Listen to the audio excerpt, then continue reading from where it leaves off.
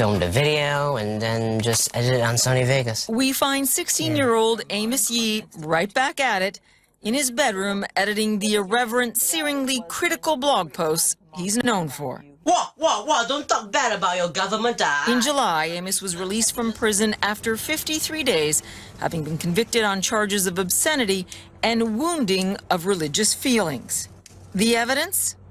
Finally. A video rant from this precocious teenager rallying against his government's lack of free speech and its most revered leader. Everyone is scared. Everyone is afraid that if they say something like that, they might get into trouble, which, give Lee Kuan Yew credit, that was primarily the impact of his legacy. The video ridicules Singapore's founding father, Lee Kuan Yew, who died in March, calling him a dictator, comparing him to Jesus Christ, and creating vulgar and insulting images of him.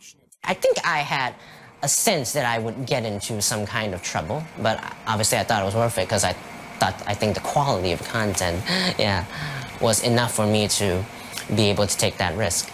And a risk it was. He spent weeks in detention and claims he was strapped to a bed for long periods of time, distraught, fearful, and being put through psychological evaluations he says were demeaning.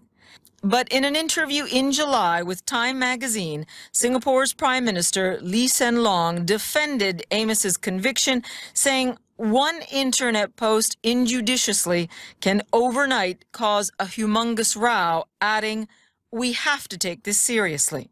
But human rights groups claim Singapore has a dismal record on freedom of speech, and some believe taking the actions of a rebellious 16-year-old so seriously has backfired for the government. It is perfectly normal for young people to write critical articles.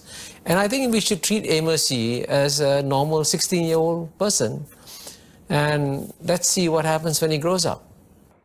But don't count on anything changing when he does. But are you afraid of being arrested again? Am I afraid? Yeah, yeah, yeah. Obviously, I prefer out, like outside, of course. You know, I feel like I'm, I'm the one who actually is supposed to break that boundary, you know, so that other people will be able to talk about things in an honest way and discuss about it, which I feel is really important. Amos is now appealing his conviction, but he is also still posting, blogging, provoking.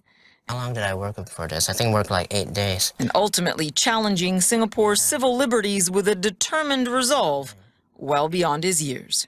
Paula Newton, CNN, Singapore.